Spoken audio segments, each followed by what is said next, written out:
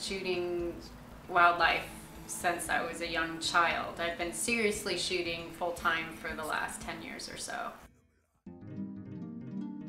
I've been really dedicated and that's sort of what it takes to make it in this field. You have to be super dedicated and sacrifice a lot, sacrifice a lot of sort of personal time and you know clearly I'm on the road for about half the year and I used to be on the road for 10 months a year. Yeah, it can be it can be scary. Overall, it's extremely exciting, I would say, and that sort of outweighs the the fear factor of it all. And you get used to you know taking security into into your concern. I had a situation where I was. Uh, I had some drunk rangers trying to arrest me for poaching. Um, I've been accused of poaching three times, which is really funny. East Africa will always have a special place in my heart because I spent three years there living in a bush camp. So in you know Kenya in particular will always have a real special place. Um, I love the jungle and there's just an, a whole world of things to photograph it and you have to work really hard in the jungle too.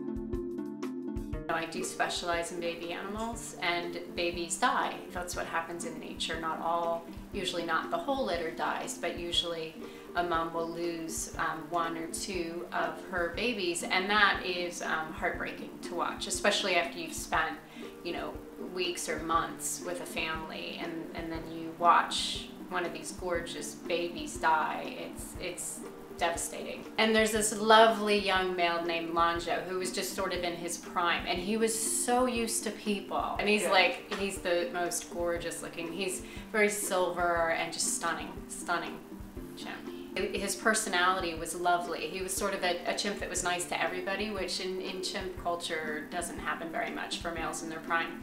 And um, he would come up to me and he would do this grooming solicitation behavior where he would take his palm and he would sort of outstretch it. And it means come over here and groom me. But he would do this like really sort of look in your eyes and come here. Polar bears were hard.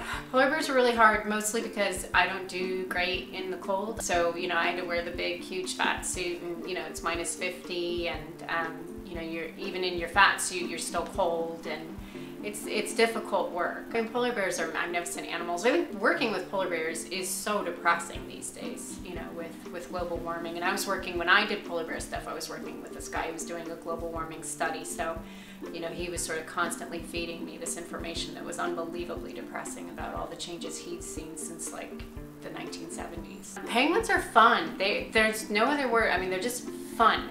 They have no fear of people. So they just walk right up to you. Sometimes they'll like peck at your boots and I mean, they just sort of waddle around you and, and it's fantastic working around animals that absolutely have no clue that a human would think of hurting them. You almost feel in a way like they're so naive, they're so vulnerable, um, but it is absolutely fantastic that they're, they're that innocent and they've been that protected. And they're also amazing subjects. You know, they cluster together in these amazing formations and that you have rookeries where you, will have 500,000 breeding pairs all in one area. So photographically, they're you know they're a photographer's dream to work with. Composition, color, all of it. And this guy just kind of held there on his own, and he had this gorgeous pose and. You know, it was really so much of wildlife photography is being in the right place at the right time, being prepared for that right moment and, and all those three things happened for me then and it's a great photo to be honest it's not a photo that i expected to land on the cover of time but you never it's really hard as a photographer to anticipate what's going to sell and who's going to buy it you dream of working with cheetahs or lions and you, you take that off the list and you know, there's always something else. There's always, you know, this year for me, the big subjects are ring-tailed lemurs, aye-ayes, tigers. There's always something, you know, the next year will bring something else. So it's great because there's so much change. It's really nice, yeah.